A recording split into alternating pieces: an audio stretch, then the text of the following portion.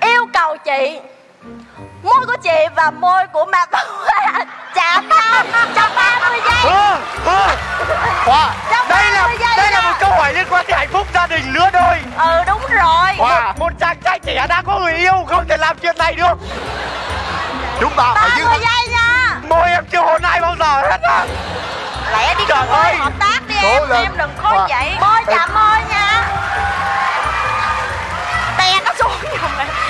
đè tập chưa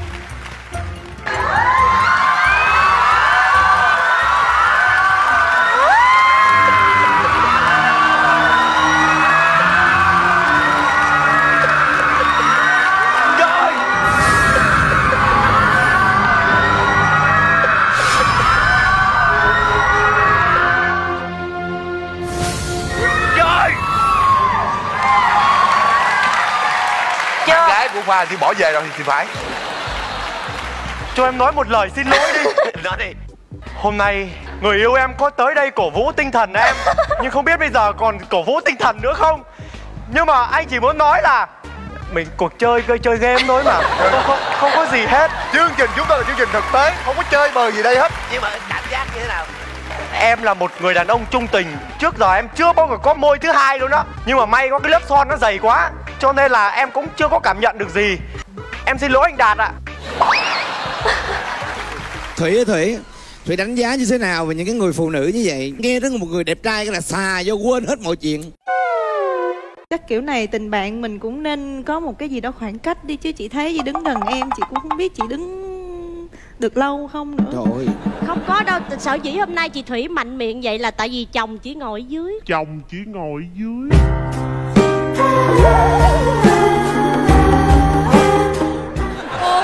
Ồ. Dạ nói là có thiệt. Dễ sợ thiệt. Hèn gì chồng. Anh em nói anh nghe cái lúc mà không có anh đó bả dễ sợ lắm. Trai mà bước ra là chưa tới lượt em là bả nhào tới rồi. Em nói trời trời trời ơi bạn không bè có đi được lên làm gì đâu. Thiệt. Trời ơi đây là những người phụ nữ đã lập gia đình sao? Anh ơi em thì không có. Đúng vậy Em là tuyệt vời nhất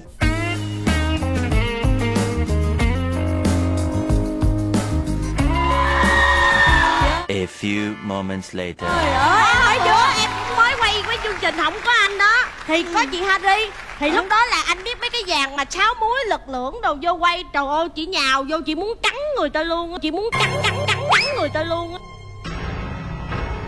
Em nói thiệt. Hôm nay là cũng có anh đó. Búa búa tới búa tới.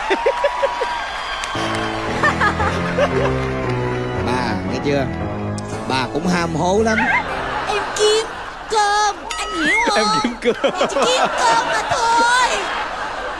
Làm cho chương trình vui thôi mà. Kiếm cơm hả? Dạ. Bà giỡn mặt hả? Đừng yên đó. Bà kiếm bà kiếm.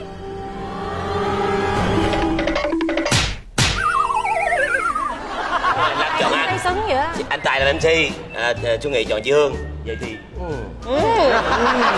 quen quen quen quen Chúng mình à, cùng nhau vượt qua game em nhỉ? Có những cái đã không vượt qua được thì giờ cố gắng game vượt qua đi nha.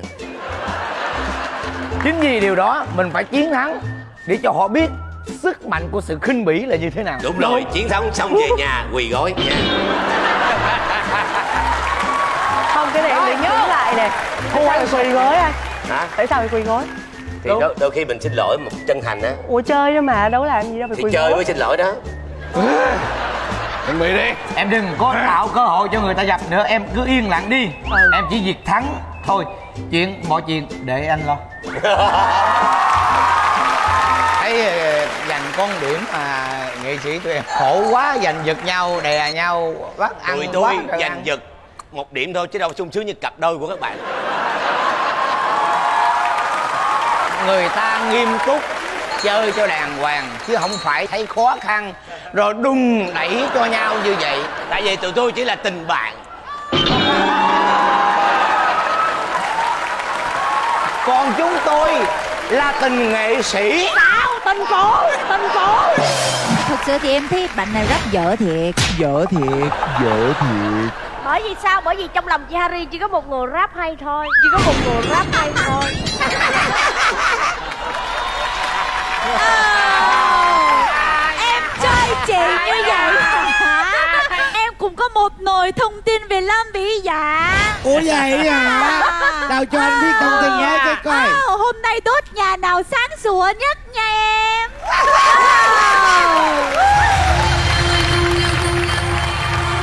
Em biết ai rồi. Vĩ chị Dạ. Lâm vĩ dạ. Lâm Vĩ Dạ lâm vĩ dạ. vĩ dạ. trời ơi mấy con yêu nhện nhện này. Thiệt tình. Tại sao lại bu chàng trai này với hả? Có biết là người ta đã thuộc về một con bạch cốt tinh rồi không? Alo? Dạ hả? Ừ. Ừ. Ê, đừng. Em đến ngay chỗ giọng ca bí ẩn nha. Đừng. con nhỏ chính nó bấu ngay cái đùi á dạ. Đúng rồi đó. Hả à cái gì? Em kéo người tới hả? Ừ. Ok. Mấy bên này cũng đông lắm năm đứa lận. À, ừ tiêu diệt luôn ha em. Ok cảm ơn em. Trời ơi. Để em lấy ra. Nhưng mà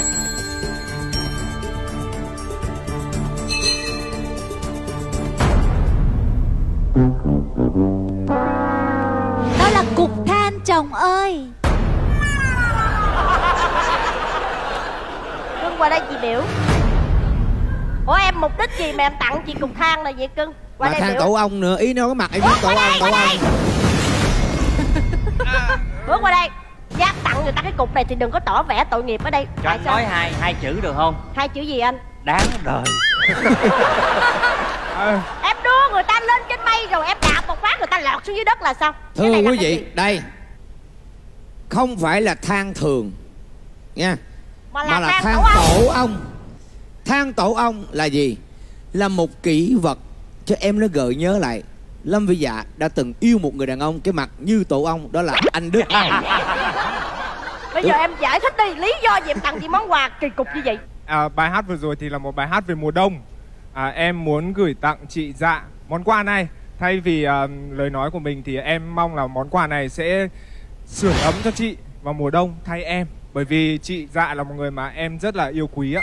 Ý có nghĩa rằng nói là vĩ dạ mặc dù ở bên chồng nhưng vẫn cô đơn lạnh lùng từ lâu. Trời đang ơi! rất cần hơi ấm. Tôi phải cứu vợ tôi mới được. Em Tối nay về ba cái mình ôm luôn Ôm cái cục than này ngủ nói chung là gì ảnh ra, ảnh ráp, ảnh cũng có lòng, ảnh tặng quà. Và cảm ơn món quà của em là đốt cháy gần cháy cái nhà của phi dạ à, nha.